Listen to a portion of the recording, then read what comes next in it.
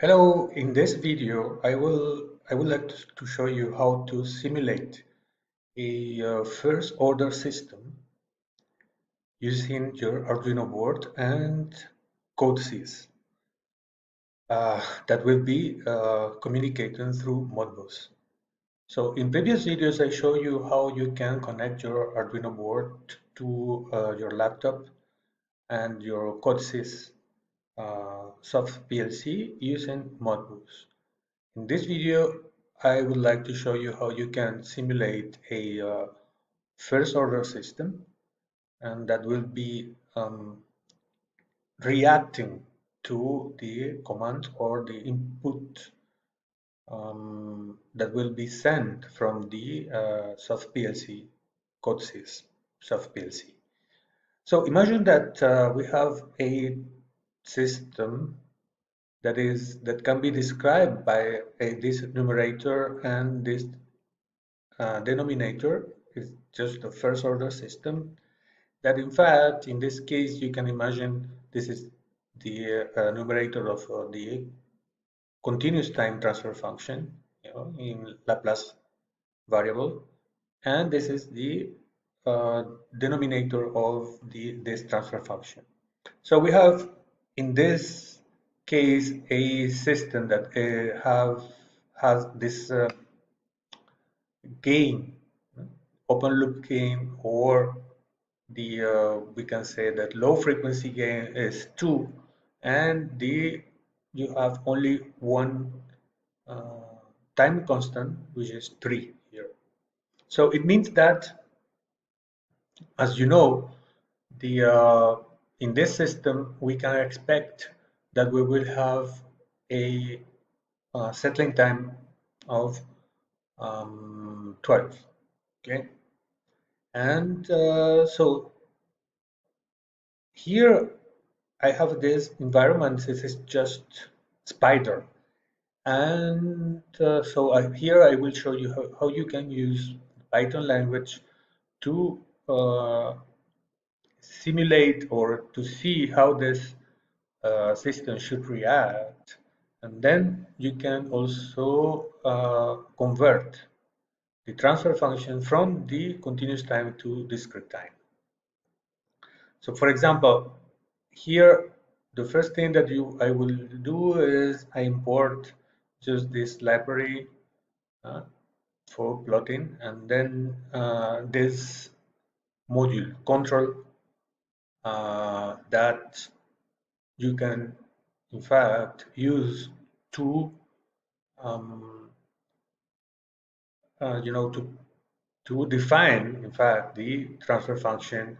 And you can uh, in fact take this control.matlab if, if you are familiar to MATLAB so you can use the same syntax that is uh, all the MATLAB users are, are familiar with.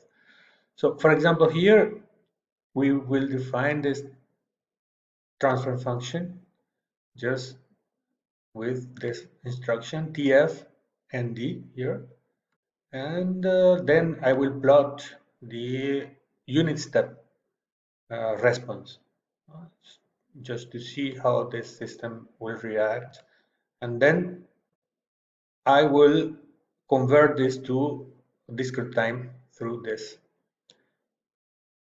instruction here and I will plot the discrete um, transfer function in terms of z variable. Here I will use a, a sampling time of 0.1. Okay, so when you run this program, you can see here this is the uh, time response and uh, this system will have a, a, low frequency gain of 2 as you can see here and the, um, as, as expected the settling time is almost 12 here. Okay so what is important for me here is that you have these numbers which will be the parameters for my simulation in the Arduino board. So now let's let's go to this Arduino board Okay. Okay, so here I will please remember that I am using this uh, simple Modbus slave library and then what I will do is I will create these two new variables that will be float and the only thing that is new here okay I will initialize the variables of my uh, in analog input in 5000 and my analog output in 2000, uh, 2500 okay so then I will update my input u and then this is the simulation uh, equation. Okay you can see that we have the values that were there in our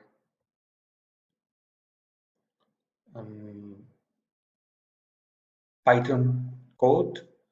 When we plot you see here the values we obtain these two numbers here that you have to use again for the simulation here. And it's very simple. This is a very simple uh, system. And then we the output will be in this register. Okay? So as previously I will upload this code to my github account so you can test yourself. Okay so this is running in already running in my Arduino and then I will show you here what happened in uh, my CodeSys from the CodeSys uh, soft PLC point of view. So the, the only thing different from my previous program is that here I have defined a new variable u and I have created a new channel here that will be uh, that correspond that will correspond to this new variable. It's a, an output from the soft PLC point of view. Okay, so and that's it because the only thing that I do with this new variable u is that I will assign to this new channel this new um, channel that I, I created. In Modbus so that now we have this uh, we send this value to our Arduino board.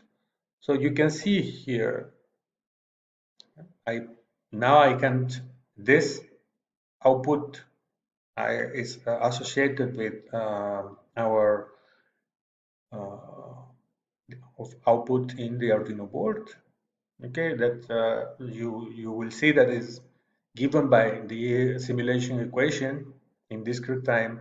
And this here is the uh, input that we can change.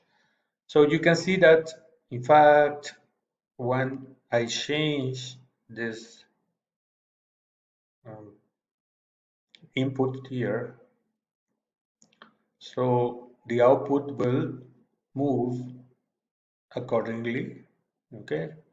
And as expected here we have 3000 and here we have 6000 so because of course the gain is 2 and you can see that it takes some time to um, this time to uh, reach its final value. So we can see what happens if we send the most zero here so you see how the output is moving also.